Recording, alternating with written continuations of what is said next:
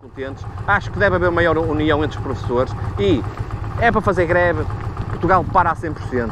Não, não, não há serviço, não há, acabou, o quê? Vamos prender? Não vão, cara.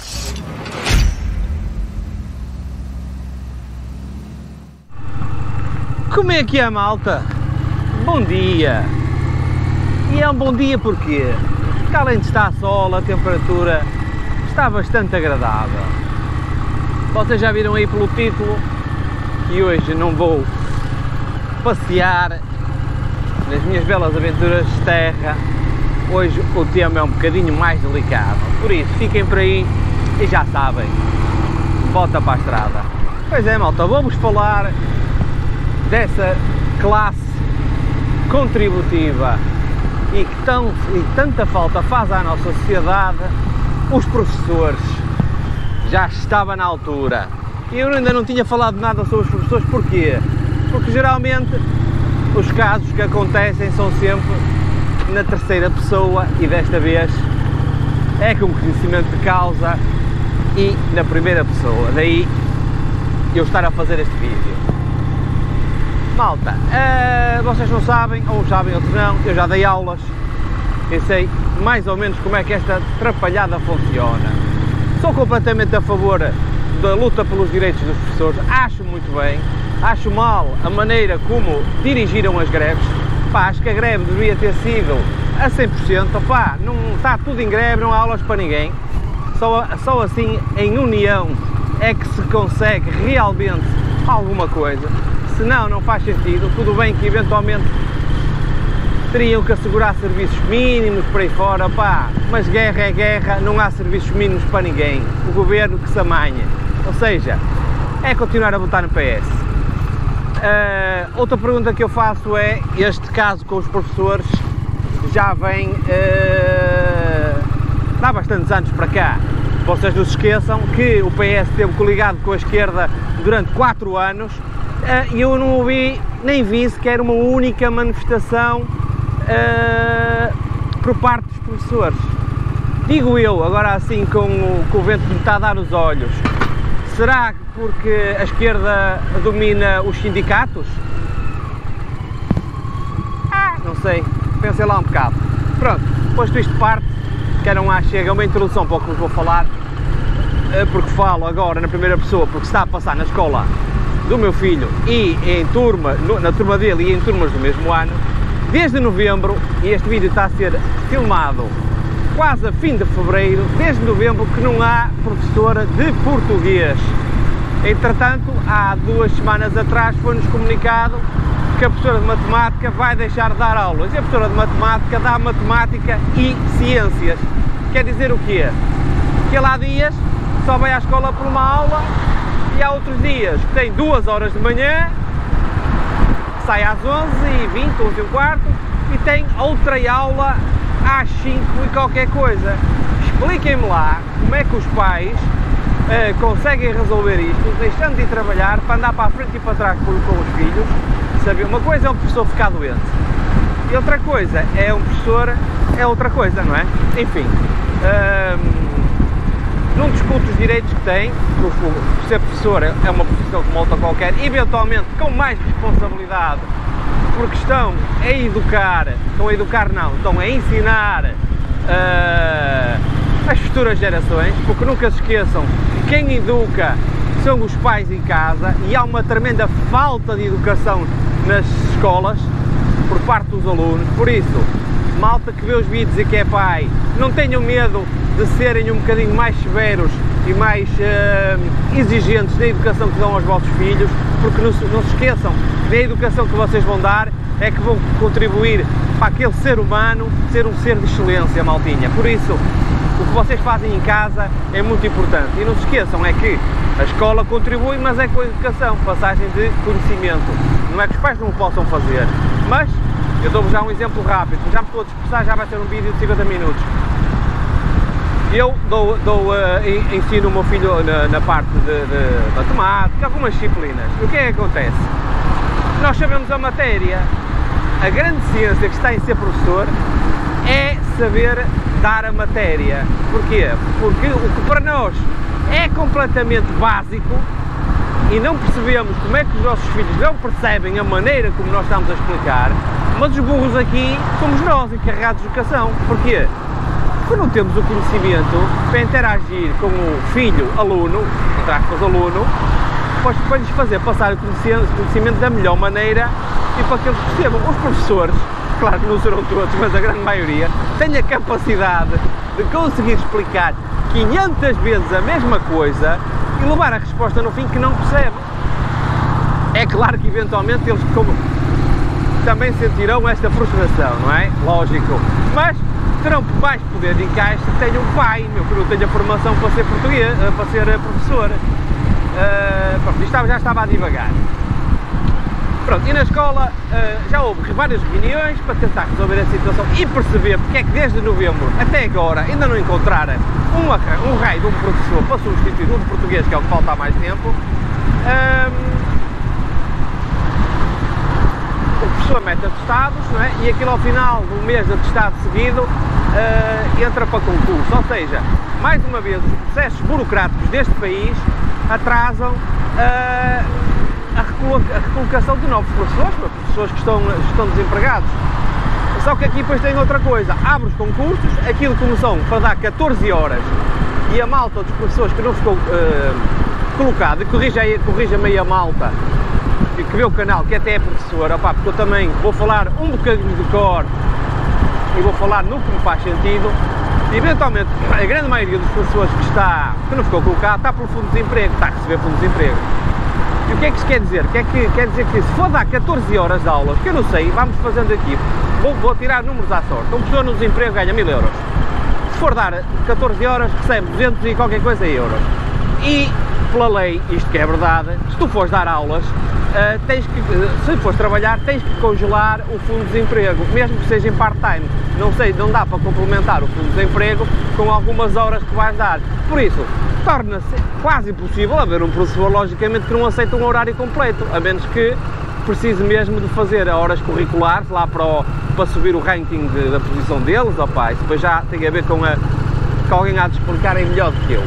Moral da história, abre-se concurso, ninguém aceita. Só que existe uma possibilidade.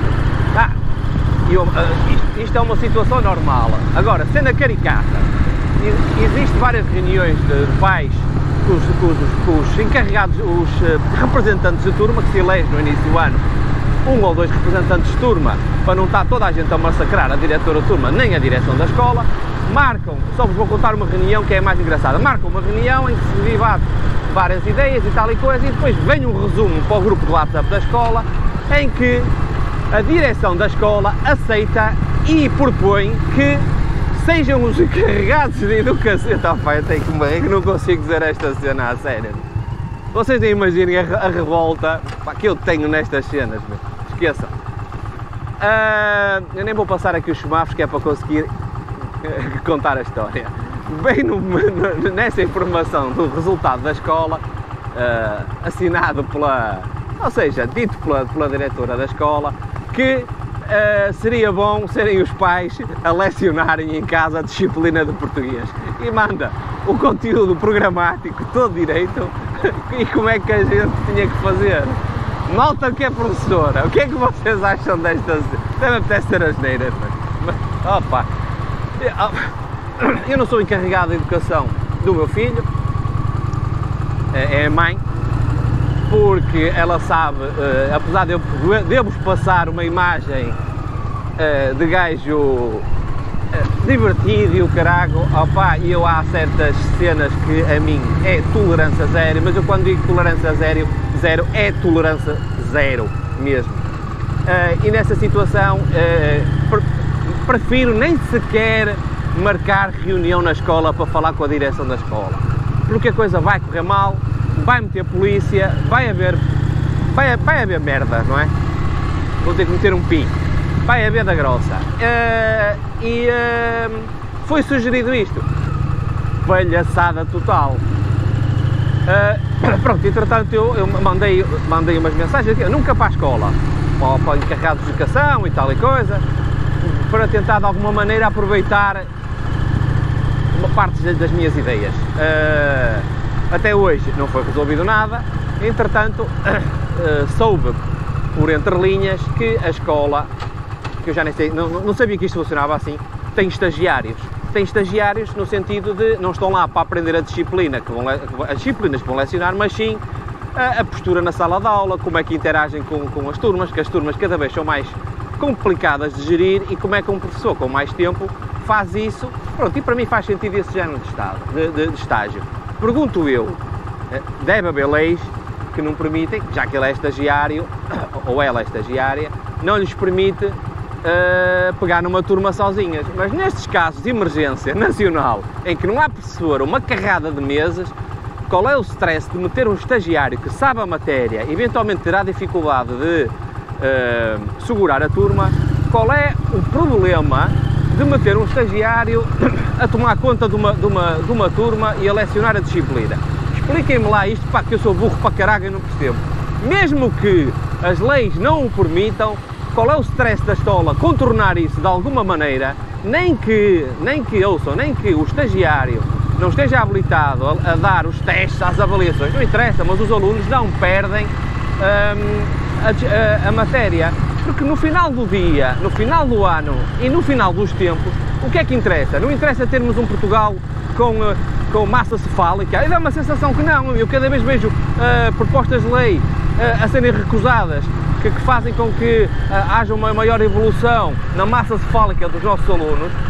E o facto da escola ter, não é um, é vários estagiários, que isto eu sei de seguro, eu não vou estar a dizer o nome da escola daqui a pá, não, que não interessa, mas. Uh, não, por acaso não é, estou a brincar. Não, é, nem vou dizer o nome da escola porque não interessa, Uh, mas é uma vergonha. A escola tem três ou quatro estagiários neste momento e é inconcebível porque é que a escola não mete um estagiário a, a lecionar a disciplina de português. De português. Já nem falo da matemática e ciências, que isto será o tocasse bem a seguir. Uh, e por andar da carruagem estaremos o ano letivo quase todo sem, sem essa disciplina. O que, é, o que é que vai fazer com que, que aconteça? Mais uma vez, vai fazer com que se passe para o seguinte ano quase sem ler, sem, sem escrever. Eu recordo-vos que o meu miúdo tem 10 anos, quer dizer que o único ano minimamente normal, já com mega falta de professores, foi o primeiro ano. O segundo ano entrou uh, o Covid, que o miúdo é da geração Covid. O segundo e terceiro ano com Covid e aulas à distância, quer dizer que a aprendizagem foi horrível, horrível. O quarto ano foi uma consolidação da matéria para trás, mas foi para consolidar a matéria que eles não sabiam, top, passam para o quinto ano. Já nem é coxo, é sem as duas pernas e continuamos com este, com este hum, cenário. Como eu vos digo e disse-vos no início, compreendo perfeitamente os professores na luta deles pá, e geralmente todas as classes que fazem a, a, luta deles é porque realmente estão descontentes. Acho que deve haver maior união entre os professores e é para fazer greve, Portugal para a 100%. Não, não, não há serviço, não há, acabou, o quê? Vamos prender? Não vão, caralho, vamos multar? Não vão.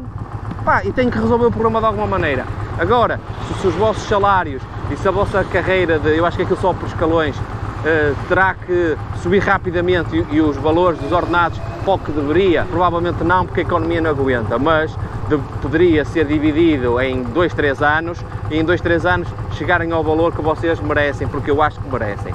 Agora, digam lá vocês, professores, que eu acho que não há nenhum professor que veja esse canal, isto é o que é. Um, digam lá à malta se vos parece justo a escola, a escola ter meios, ter estagiários para meter a dar aulas e não os pôr. Eu não sei se há alguma lei, provavelmente há alguma lei que proíbe o estagiário dar aulas, mas faz sentido pormos em causa o futuro dos miúdos por causa de uma, de uma mera lei feita por um jurista da treta que escreve num papel e que nem sequer sabe o que é a realidade no campo? Não faz sentido nenhum, carago. Metiam os estagiários a dar aulas, mesmo que não houvesse avaliação, e depois no final do ano a, a diretora da escola ou uma, ou uma professora um, dos quadros da escola que pode lecionar qualquer uma destas disciplinas fazia os testes e assinava ela como sendo a professora representante da disciplina. Mas eles assim não perdiam, nem, não perdiam matéria. Pá, isto digo eu assim que estou um bocado nervoso, mas acho que o que eu estou a dizer faz todo sentido. Uh, e peço, opa, é um tema que eu trago aqui, porque há alguns temas que eu, não é só motas nem terra, de vez em quando trago alguns assuntos sérios. E pá, é um bocado revoltado, porque isto é o meu Portugal, é o Portugal que eu pago impostos, Eu acredito na escola pública, porque eu estudei na, na escola pública e consegui minimamente fazer alguma coisa e acho que o meu filho também consegue da mesma maneira que o filho dos outros conseguem. Agora, se eles não têm ferramentas para o fazer, como é que eu vou fazer? Bom, eu trabalho, apesar do pessoal pensar que eu trabalho uma hora e meia o restante de mota, não. Eu que trabalho muitas vezes 11 horas, 12 horas, porque no trabalho por conta própria, muitas vezes levo trabalho para casa, depois desse final do dia todo, depois do meu filho estar 7 horas na escola, em que 5 horas não tem aulas, que vai, vai chegar a casa ao final daquele tempo todo, ainda lhe vou estar a massacrar com matemática, ciências, português e o quê? Mas pá, não há, não, como é que se faz isso? Expliquem-me lá, meu. Expliquem-me, eu tenho a certeza que há muita gente aqui que vê o vídeo, já somos 10 mil, porra, deve haver alguém aqui que está a passar pela mesma situação. Expliquem-me aí nos comentários como é que eu posso fazer, ou se vocês têm alguma técnica para, para conseguir resolver isto. Entretanto, vou acabar já o vídeo porque já estou a ficar nervoso e vou começar a dizer palavrões e não posso. Maltinha, beija a prima, a gente vê-se por aí, nem que seja no inferno. Abraço!